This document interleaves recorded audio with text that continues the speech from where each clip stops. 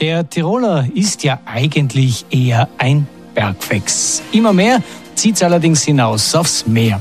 Segeln liegt immer mehr im Trend, Hobbysegeln wohlgemerkt. Dass Tirol neben dem zweifachen Olympiateilnehmer Nico Delikart aber auch sonst wettkampfmäßig noch einiges zu bieten hat, konnte Skipper Gerd Arnold mit seiner Schwarzer Crew und zwei kroatischen Legionären bei der Staatsmeisterschaft im Hochseesegeln unter Beweis stellen.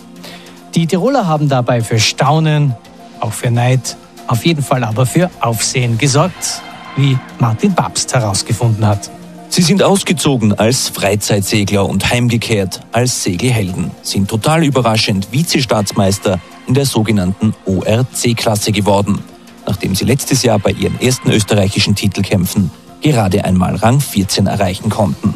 Das war wie ein Schock für die österreichische Segelwelt. Die haben sich überhaupt nicht auskennt, was jetzt da los ist. Wir waren sozusagen irgendwo auch das Anfahrt der Riebel dort in dieser Staatsmeisterschaft, weil wir praktisch, wie die angesagt haben, aus dem Nichts in den Segelolymp gefahren sind. Aber so ab dem dritten Tag, wo wir wirklich immer ganz, ganz vorne mitgefahren sind, hat das auf einmal jeder akzeptiert. Und das war eine wunderschöne Erfahrung, dass dann ein René Mangold oder ein, ein Hans Spitzauer auf einmal mit uns umgegangen sind, als ob wir immer schon zu einem dazugehört hatten. Steuermann Gerd Arnold kann es heute irgendwie immer noch nicht fassen. Seine Rechnung ist voll aufgegangen.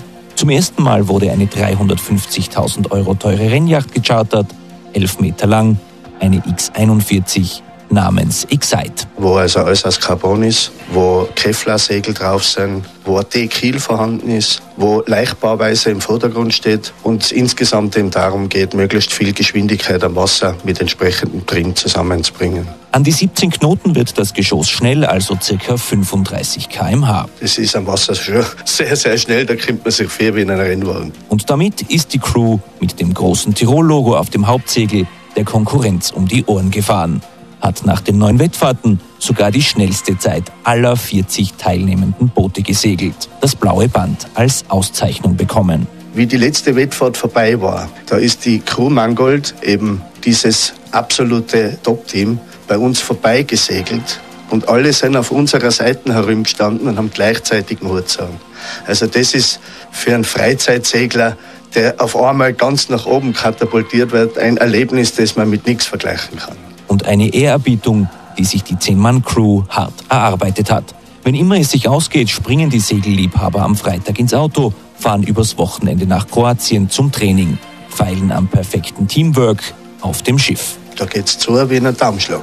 Da gibt's auf der einen Seite jene, die das Geschehen leiten, derjenige am Steuer vor allem. Dann gibt's einen Taktiker, der grundsätzlich die Vorgangsweise bestimmt im Kontext mit allen anderen Teilnehmern. Und dann gibt es einen Trimmer, der für die optimale Einstellung der Segel zuständig ist. Dann für die einzelnen Positionen eben die. Und ganz wichtig sind auch die sogenannten Grinder. Das sind stämmige Burschen, die also in der Lage sind, mit sehr viel Muskelkraft und blitzschnell Segel zu setzen oder wieder zu bergen oder große Veränderungen am Trim herzustellen.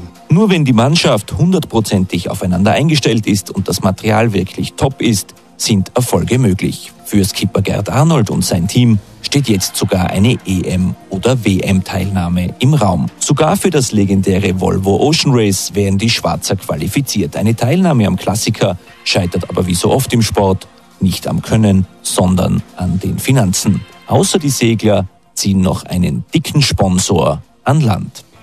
Martin Papst hat berichtet, ja, die Segler sind alles andere als abgestürzt. Jetzt bei uns Geier Sturzflug mit Die Zeit unseres Lebens.